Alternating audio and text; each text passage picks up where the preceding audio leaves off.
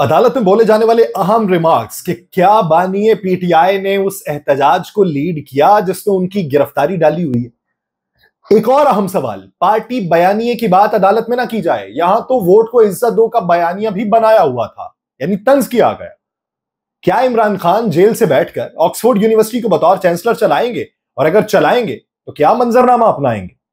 नए इलेक्शन की बातें क्यों हो रही हैं? एतजाज एहसन ने क्यों कहा कि इमरान खान अब आ रहा है इलेक्शन कमीशन ने सुप्रीम कोर्ट का आधा फैसला मान लिया, आधा मानने से इनकार कर दिया। आप सब पर सलामती हूँ मैं यासिर रशीद हूँ और आप मेरा वीलॉग देख रहे हैं। नाजरीन, मौजूदा मंजरनामे में हुकूमत के लिए बड़ी मुश्किल बन गई है। हुकूमत के लिए मुश्किल इसलिए बन गई है कि जो केसेस बनाए हुए थे प्रोसिक्यूशन जो है, वो ये साबित करने में इस वक्त अपना पूरा ज़ोर लगा रही है कि हमने जो केसेस बनाए, उसमें हमारी बात नहीं सुनी जा रही। क्योंकि सारा का सारा मलबा जो है, वो प्रोसिक्यूशन के ऊपर आ रहा है। प्रोसिक्यूशन से सवाल पूछे जा रहे हैं कि केसेस अगर मज़बूत बने हुए थे, तमाम शवाहिद मौजूद थे, इनको रगड़ा जा सकता था तो रगड़ा क्यों नहीं जाया जा रहा? और इस वक्त हाई कोर्ट जो है, वो इनको जमानतें की बुनियादों के ऊपर दे रही हैं। ये सवाल पूछे जा रहे हैं प्रोसिक्यूशन से, और प्रोसिक्यूशन इस वक्त जजेस के सामने खड़े होकर ये कह रही है कि देखें जी, हमने अपने केस को पूरा परसू करना है, क्योंकि बाद में हम पे एलिगेशन आ रहे हैं, इसलिए हमारी बात को सुन लिया जाए। आज बारह मुकदमात में जो है जिसमानी रिमांड के खिलाफ दरखास्तों पर समात हुई है और उसमें वो फैसले का लदम करार दे दिए गए हैं। तो इस पे सवाल ये बनता है कि क्या खान साहब बाहर आएँगे? कतई तौर पे नहीं आएँगे? क्योंकि खान साहब पे तोशा तोशा खाना घड़ियों का केस डाला हुआ है। उसमें गिरफ्तारी डाली है उसमें जमानत हो जाएगी तो किस, किसी और केस में डाल देंगे। सवाल ये पैदा होता है कि ग्यारह माह में किन किन केसेस पे गिरफ्तारियाँ डाली हुई थी? आज जस्टिस तारिक सलीम और जस्टिस अनवारू पुन्नू पर मुश्तमिल दो रुकनी बेंच ने लाहौर हाई कोर्ट में प्रोसिक्यूटर जनरल पंजाब के दलाइल सुने। इस समात में जस्टिस तारिक सलीम शेख ने सवाल यह उठाया कि आप मुलजिम को फोटोग्रामिक टेस्ट के लिए फोर्स नहीं कर सकते। अनवारुल पन्नू साहब ने यह रिमार्क्स ये कि आपको यह बताएँ कि कब ख्याल आया? कि अब जो है वो मॉडर्न डिवाइसेस की तरफ़ हमें जाना चाहिए, क्योंकि हमने बहुत सारे सवाल कर लिए हैं, लेकिन जवाबात नहीं है दे रहे सही तो अब मॉडर्न डिवाइसेस की तरफ़ जाना चाहिए। प्रोसिक्यूटर जनरल पंजाब फरहाद अली शाह ने कहा फोटोग्रामेटिक टेस्ट की सहूलत जेल के अंदर है बाहर नहीं है, बाहर नहीं लेके आना। इस मौके पे प्रोसिक्यूशन को पूरा मौका ना देना ज्यादती होगी। आखिर में सारा इल्ज़ाम प्रोसिक्यूशन पे पड़ता है कि वो नाकाम रहे। यानी उन्होंने आज अदालत के रूबरू ये बात की है कि हाई ऑफिशियल जो है वो हमको फिर पूछते हैं, साहब, इसलिए हमारी बात सुन लें। प्रोसिक्यूटर जनरल ने कहा कि बानिया पीटीआई ने ट्वीट से खासा बयानिया बनाया।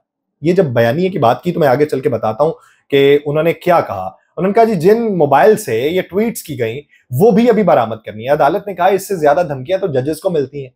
तफ्तीशी मुलजिम को कहीं लेकर नहीं जा सकता तो ये मोबाइल बरामद कैसे करेंगे, जिसकी आपने रट लगाई हुई है कि हमने मोबाइल बरामद करना है? इसी बात पर आ जाएँ तो आप ये बताएँ कि मोबाइल कैसे रिकवर करेंगे जब मुलजिम जेल के अंदर रहेगा।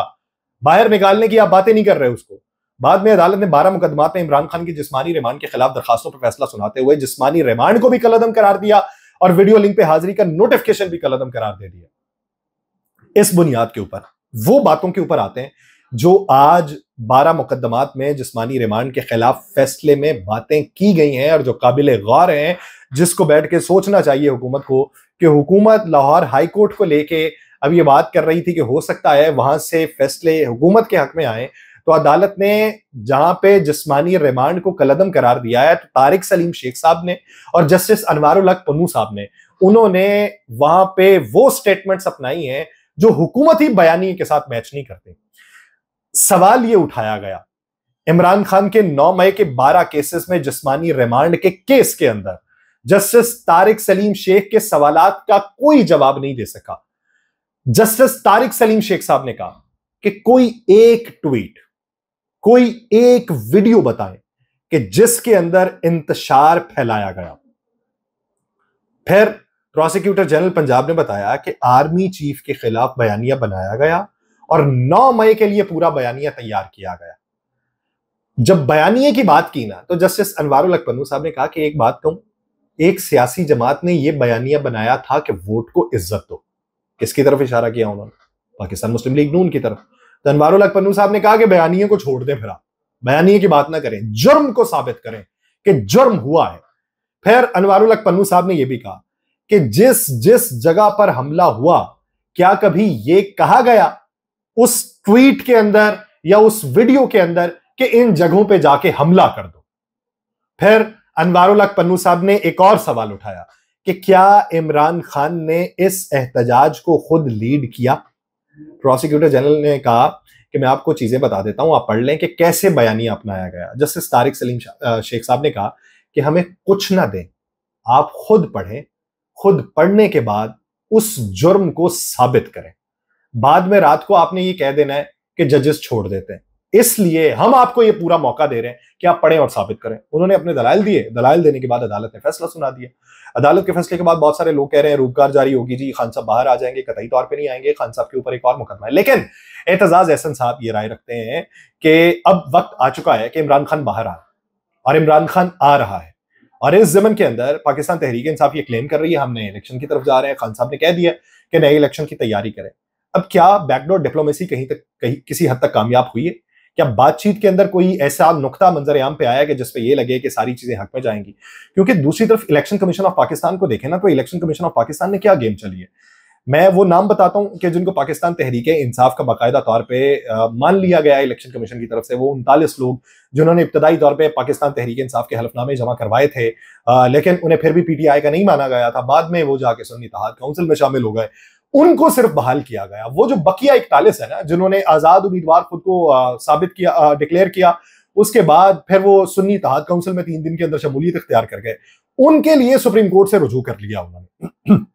तो अगर तो बैकडोर डिप्लोमेसी चल रही है तो फिर वो इकतालीस भी जो है वो पाकिस्तान तहरीक इंसाफ के हो जाने चाहिए थे। या फिर कोई ये चार है कि अदालत उसे उसकी नशस्त से बर्खास्त करे। इलेक्शन कमीशन ने सुप्रीम कोर्ट के फैसले पे अमल दरामद जो शुरू किया, उसमें उनतालीस एम का नोटिफिकेशन वेबसाइट पे जारी किया है और ये सिकंदर सुल्तान राजा साहब की जेर सदारत जो इजलास हुआ, उसमें ये फैसला किया गया।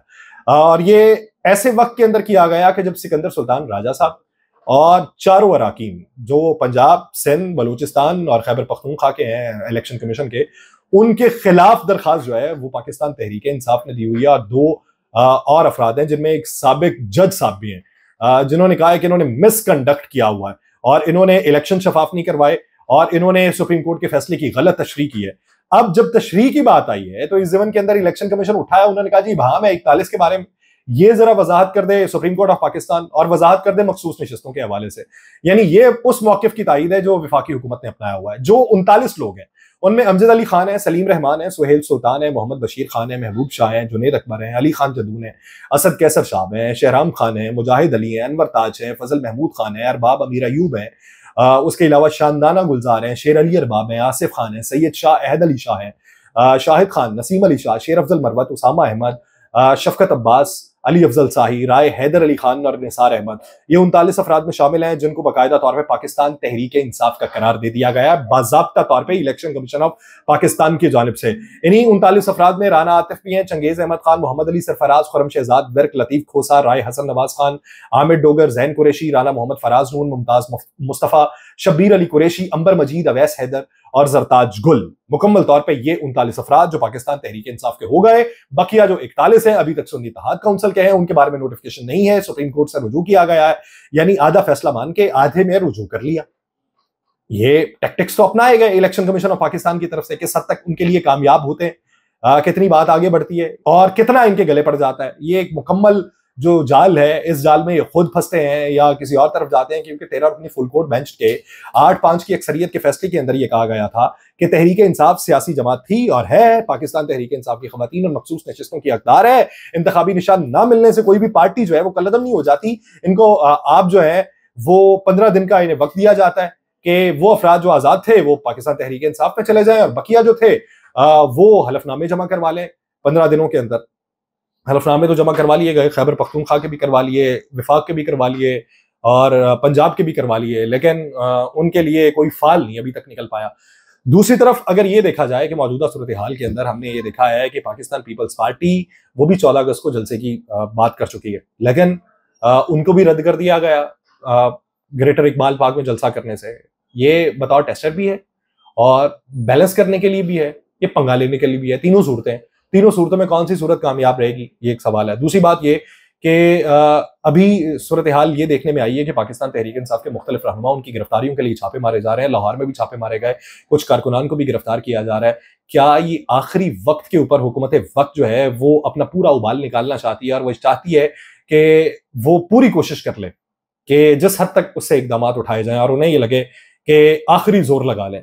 या फिर इनको किसी तरफ़ से ये बशारत मिल चुकी है कि आप ही बैठे रहेंगे। लेकिन ये तजब्जुब की कैफियत लगती है, हैजानी कैफियत लगती है, परेशानी वाली कैफियत लगती है कि जिसमें आखिरी वक्त में इकदाम उठाए जाएँ। ये इकदाम सूदमंद साबित होंगे या नहीं होंगे, उसके लिए वक्त का इंतज़ार है। मुझे दीजिए इजाज़त। अल्लाह ने के बाद